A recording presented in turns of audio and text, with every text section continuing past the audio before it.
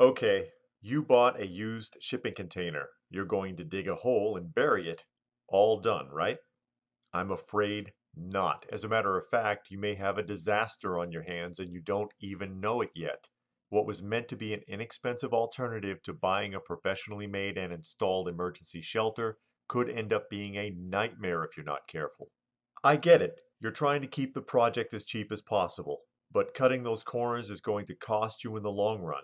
So today we're going to look at some common mistakes made with burying shipping containers so that hopefully you can avoid them or fix them if you've already made these mistakes. Firstly, I would go with a new container. I know the used ones are cheaper. Problem is they are used and used in the shipping industry means it's no longer useful to them. So expect banged up and rusty Used 40 foot containers will typically run around 2500 to 5000 and a new one will run between 3500 to 7000 or more depending upon how well it's built.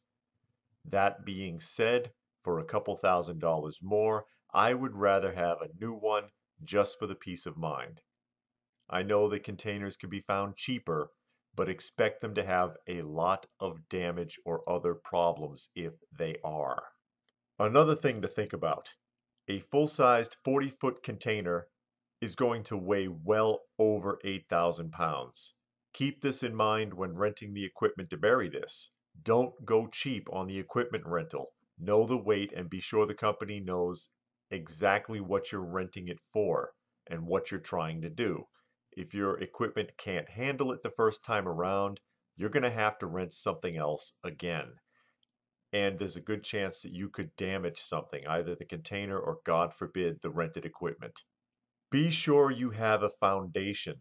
Don't just place your container on the soil. Remember, it's earth. It will eventually settle, and your container is going to settle too, which means it will be off balance. It must be level and not allowed to settle. Go the extra mile and pour a proper leveled foundation. I know this means more expense, but if you do it right the first time, it will save you in the long run. Also consider drainage when pouring the foundation so that the concrete is not forced to absorb runoff. I am as of yet to see any independent person burying a container that considered drainage. Would you want to build a finished basement without drainage? I don't think so. Don't put your container in that situation. Another thing to remember is that the load bearing capacity of a shipping container is concentrated in the corners, not the walls and not the roof. A container is meant to be stacked like blocks, not with pressure on the walls. The sides and the roof can be crushed. The sides of your container should be securely braced. Don't reinforce like this. This guy wants to shore up and reinforce the exterior with railroad ties. Not a bad idea in theory, but he's forgotten something. He's burying railroad ties. Railroad ties are wood and wood decomposes. Eventually it will break down into the soil and press against the walls. It's also pressing moisture against the exterior of the container.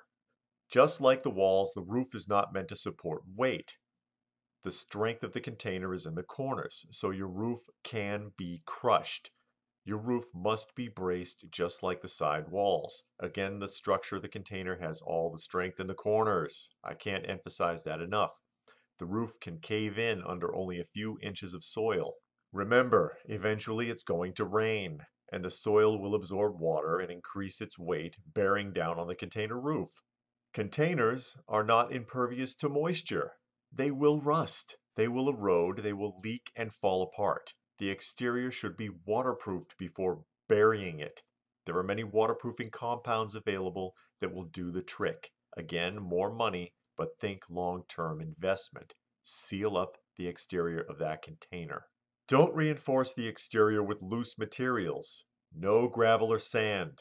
Use concrete blocks and box the container in the right way. Think finished basement. You want it to be secure and watertight. You can use cinder blocks instead if you build it right and seal it tight, but don't skimp on the work. This guy's kind of got the idea, but he's using patio bricks, which is not secure nor is it water resistant and will likely cause problems over time. Consider ventilation. If this is a shelter that you plan on staying in for extended periods of time, you're going to need ventilation. And this is something that is, again, often overlooked when people bury containers. And finally, consider the overall cost. You're trying to save money by burying a container instead of getting a proper shelter. But when all is said and done, burying the container, renting heavy equipment, container transportation costs, possible storage costs surrounding the container if they're not ready to ship or you're not ready to receive it, other materials and construction, pouring concrete, labor costs if you can't do it all yourself. What will the total cost look like in the end? You need to have all these numbers before you even start. Remember, there's a lot more to consider than just buying a container and throwing it in a hole. Know all the costs before you get started, or you'll end up with a half finished project haunting you, or a finished project that you're just not satisfied with. Remember, I'm not trying to discourage you, but I just want to make sure that if you go for it, that you don't have any regrets. I hope you found this information helpful and that it aids you in your decision to bury a shipping container. Or, if you've already buried one, Perhaps this will help you to make some new considerations. If you've made some mistakes, it may not be too late. If you have any comments or other suggestions pertaining to the video, please do go ahead and post it in the comments section down below. It may be helpful to other viewers. It may be helpful to me. And I do try to answer as many comments as I can. If you got anything out of the video, please do give it a thumbs up please like, share, and subscribe if you are not already a subscriber. Here's your big chance, folks. And remember to hit the notifications button so that you can be alerted as to when new content comes out. If you would like to make a donation to the channel, there is a PayPal link down below. I would sure appreciate it because YouTube sure doesn't appreciate this. YouTube does not like prepper channels and they do everything possible to sanction them. I do have another channel called Coffee Talk that has more socially oriented content. If you are interested in seeing anything like that, I will put a link to that channel down below. Go ahead and check it out.